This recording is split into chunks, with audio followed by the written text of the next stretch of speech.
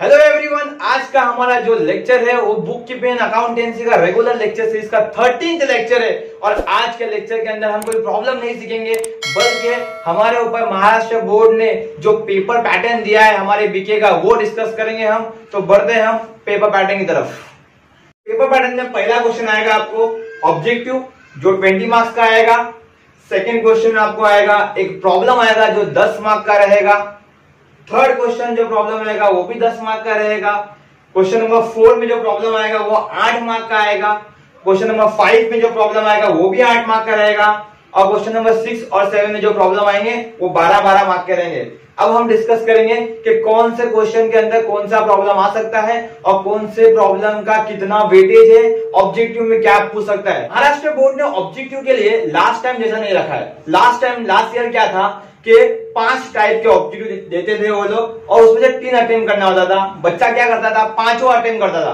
पाँचों अटेम्प्ट करके any three best पे मार्क्स मिलते थे मतलब बच्चे के लिए स्टूडेंट के लिए बहुत अच्छा था कि वो पाँचों अटेम्प्ट करे और दो उसमें कोई कम मार्क्स वाला रहा तो टीचर या एग्जामिनर उसको ओमिट करके बाकी तीन बेस्ट पे मार्क्स दे। बट अभी ऐसा नहीं किया है महाराष्ट्र बोर्ड ने।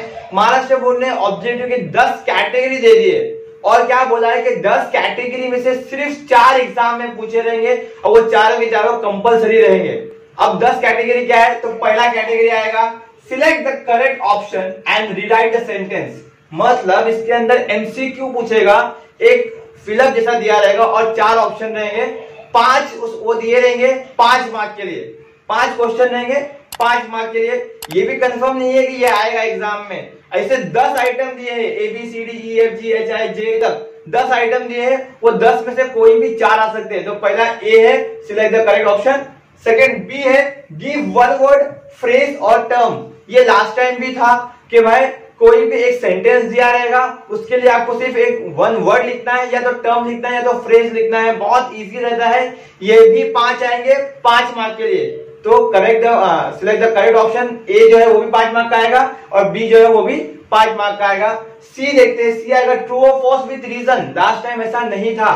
ट्रू और फॉल्स विथ रीजन नहीं था। लास्ट टाइम ट्रू और फॉल्स था। पाँच आते थे पाँच मार्क के लिए। अब दो आएँगे पाँच मार्क के लिए। दो आएँगे, पाँच मार्क के लिए। मतलब एक ट्रू और फॉल्स विथ रीजन जो रहेगा, वो ढाई मार्क का रहेगा। ओके बढ़ते हैं फोर्थ फोर्थ वन की तरफ़ फाइंड द ऑड वन मतलब चार कोई भी ऑप्शन दिए रहेंगे, उसमें से अपने को ऑड वन फाइंड करना रहेगा, बहुत ही इजी रहेगा। फॉर एग्ज़ाम्पल चार असेट के अंदर तीन असेट दिए रहेंगे for example debtors bills receivable cash and bills payable तो बिल्स पेबल से लाइब्रेरी तो और क्या है? इसमें लाइब्रेरी है तो और हमको फाइंड करना है। बहुत इजी रहेगा। पाँच दिए रहेंगे, पाँच मार्क के लिए। नेक्स्ट वन नेक्स्ट वन क्या रहेगा? Complete the sentence complete the sentence is nothing but the fill in the blanks fill in the blanks रहेगा बट ऑप्शन नहीं रहेंगे। क्वेश्चन नंबर वन के अंदर ऑप्शन रहेंगे बट यहाँ पर ऑप्शन नहीं दिया रहेगा। हमको क्वेश्चन का ऑप्शन खुद से ही लिखना है आंसर खुद से लिखना है, कोई ऑप्शन नहीं रहेगा। नेक्स्ट वन बढ़ते आगे answer in one sentence one sentence में आंसर लिखना है आपने को, एक या डेढ़ लाइन के अंदर आंसर लिखना रहता है। ये भी वो लोग पूछ सकते हैं, पाँच दिए रहेंगे, पाँच मार्क के लिए। आगे बढ़ते एग्री और डिसएग्री एग्री और डिसएग्री इज़ लाइक ट्रू और फॉल्स बस यहाँ पर रीजन नहीं लिखना है। पाँच दिए रहेंगे, पाँच मार्क के लिए हमको सबका एक एक मार्क मिलेगा। खाली लिखना है एग्री है या डिसएग्री हो, कोई रीजन नहीं लिखना है यहाँ पर। बढ़ते आगे नेक्स्ट कैलकुलेशन अभी अकाउंटेंसी के अंदर बुक कीपिंग के अंदर बहुत सारे चैप्टर्स है जिसके कैलकुलेशन करने पड़ते हैं हमको। जैसे कि हमने फाइनल अकाउंट में देखा डेप्रेशन करना पड़ता है हमको आरडीडी फाइन करना पड़ता है हमको। तो कैलकुलेशन के ऊपर पाँच क्वेश्चन दिए रहेंगे और पाँचों को एक एक मार्क रहेगा, पाँच मार्क रहेगा। ये भी कंफर्म नहीं आ सकता है क्या? मैं पहले बोल चुका हूँ कि दस दिए वो लोगों ने, उसमें से कोई चार आएगा एग्ज़ाम में। तो कैलकुलेशन भी आ सकता है। उसके बाद स्पेसिमेन स्पेसिमेन जो रहता है वो बिल ऑफ़ एक्सचेंज नाम का एक चैप्टर है, जो आगे मैं आपको बिल ऑफ़ एक्सचेंज के ऊपर भी वीडियोस बनाऊँगा। उसमें एक स्पेसिमेन रहता है परफॉर्मर रहता है बिल ऑफ़ एक्सचेंज का। वो ड्रॉ करना पड़ता। है लास्ट टाइम ये आता ही था। और ये बार भी इसको एस्टिमेशन में रखा गया है कि भाई ये आ सकता है। तो ये भी पाँच मार्क का रहता है। एक ही परफॉर्म बनाना रहता है, उसको पाँच मार्क मिलते हैं। और last one is complete the table एक शेड्यूल दिया हुआ रहेगा, एक टेबल दिया रहेगा। उसके अंदर कुछ जगह भरी भी रहेगी, कुछ खाली रहेगी, उसको हमको कंप्लीट करना है। तो ये दस आइटम में से कोई चार आएँगे एग्ज़ाम में। सुनो अच्छे से, चार करना नहीं है। एग्ज़ाम में कोई चार आएँगे और वो चारों के चारों करना है हमको। और चारों को पाँच पाँच मार्क करेंगे तो हमको बीस मार्क मिलेगा ऑब्जेक्टिव से। इज़ इट क्लियर बढ़ते हम सेकंड क्वेश्चन की तरफ़। सेकेंड क्वेश्चन और थर्ड क्वेश्चन लगभग सेम रहेगा। सेकेंड क्वेश्चन के अंदर वो लोगों ने चार चैप्टर दिए। आप देख रहे हैं चार चैप्टर यहाँ पे मैंने लिख दिया है कि पहला है bills of exchange then admission of partner then retirement of partner then death of partner ये चार चैप्टर वो लोगों ने सेकेंड क्वेश्चन और थर्ड क्वेश्चन के लिए दिए है। और ये क्लियरली मेंशन किया है कि ये चार चैप्टर में से दो चैप्टर जो है, वो सेकेंड के लिए आएँगे और दो चैप्टर जो है, वो थर्ड के लिए आएँगे। मतलब जो चैप्टर सेकेंड क्वेश्चन में आएगा, वो थर्ड में नहीं आएगा। In case bills of exchange second question में आ रहा है तो वो थर्ड में नहीं आएगा। एडमिशन सेकेंड में आ रहा है तो थर्ड में नहीं आएगा। तो ये चार चैप्टर में से दो चैप्टर सेकेंड क्वेश्चन में आएँगे और दो थर्ड में आएँगे। और जो सेकेंड क्वेश्चन में आएँगे, उसमें से एक करना है हमको। दो में से एक करना है और दूसरे दो में से भी एक करना है। तो मेरी ये राय है आपके लिए कि अगर ऑप्शन में छोड़ना है आपको कोई चैप्टर तो एक चैप्टर आप छोड़ सकते हो यहाँ पर। चार चैप्टर में तीन तो आपको करना ही पड़ेगा। एक चैप्टर छोड़ सकते हो। बच्चा सोचेगा कि दो छोड़ दू, दो छोड़ दू, लेकिन दो छोड़ेगा तो नहीं चलेगा, क्योंकि अगर क्वेश्चन नंबर टू में वही दो चैप्टर आ जाए जो आपने छोड़ा रहेगा तो आप क्या करोगे? इसलिए कोई भी तीन चैप्टर आपको करना ही पड़ेगा। अगेन मैं वापस रिपीट करता हूँ। क्वेश्चन नंबर दो में जो चैप्टर आएँगे, वो तीन में नहीं आएँगे, जो तीन में आएँगे, वो दो में नहीं आएँगे। और दोनों के अंदर ऑप्शन रहेगा। कोई दो क्वेश्चन में से एक करना है। दोनों चैप्टर में से एक करना है। ऊपर भी, दोनों चैप्टर में से एक करना है। नीचे भी। इज़ इट क्लियर बढ़ते हैं हम नेक्स्ट क्वेश्चन की तरफ़।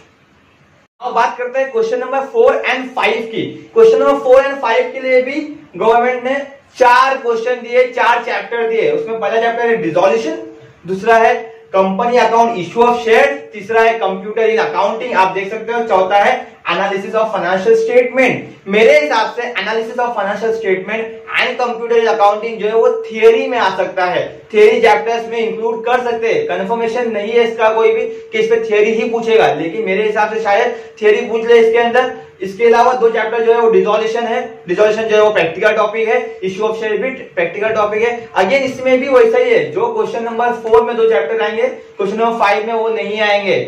क्वेश्चन नंबर फोर में दो चैप्टर रहेंगे क्वेश्चन नंबर फाइव में दो चैप्टर रहेंगे। और इसके अंदर ऑप्शन रहेगा, दो में से कोई एक करना है। मतलब फोर में दो रहेंगे, एक करना है। फाइव में दो रहेंगे, एक करना है। और इसको हर एक को आठ आठ मार्क दिया है। इज़ इट क्लियर बढ़ते हैं हम नेक्स्ट क्वेश्चन की तरफ़। क्वेश्चन नंबर सिक्स और सेवन बहुत ही इंपॉर्टेंट टॉपिक बहुत ही इंपॉर्टेंट चैप्टर लास्ट ईयर की ये दोनों चैप्टर जो है क्वेश्चन नंबर सिक्स और सेवन में ही थे. दैट इज़ हमारे सिलेबस का chapter number one and two question number six के अंदर चैप्टर नंबर टू आता है. That is non profit organisation भाई, ये क्वेश्चन बहुत ही इजी रहता है. मैं इसके ऊपर वीडियोस बनाने वाला हूँ. बहुत ही अच्छा चैप्टर है, बहुत ही इजी चैप्टर है. बच्चे बहुत कंफ्यूज रहते हैं. तो मेरे वीडियो की इससे जाना वीडियो के सीरीज़ को देखना तो आपका ये चैप्टर कंफ्यूजन दूर हो जाएगा। तो ये क्वेश्चन ये चैप्टर भी हमको 12 मार्क के लिए आएगा क्वेश्चन नंबर सिक्स के अंदर और क्वेश्चन नंबर सेवन के अंदर जो फाइनल अकाउंट जो हम सॉल्व कर रहे हैं, जो हमारे रेगुलर लेक्चर सीरीज़ के अंदर चल रहा है फाइनल अकाउंट वो भी 12 मार्क का आएगा। अब तक ये 12 12 चैप्टर सॉरी 12 लेक्चर्स मुझे दे चुका है। फाइनल अकाउंट के ऊपर तो उम्मीद करता हूँ कि आपको ये 12 मार्क्स तो क्लियर हो गए रहेंगे। इसके ऊपर मैं और भी वीडियोस बनाऊँगा, लेकिन अभी तक के लिए इतना ही मैंने बनाया 12 वीडियोस तो आप 12 वीडियोस के लिंक भी मैं इसके डिस्क्रिप्शन बॉक्स में डाल दूँगा। तो यहाँ पे आपका 80 मार्क का पेपर पैटर्न होता है complete is it clear thank you so much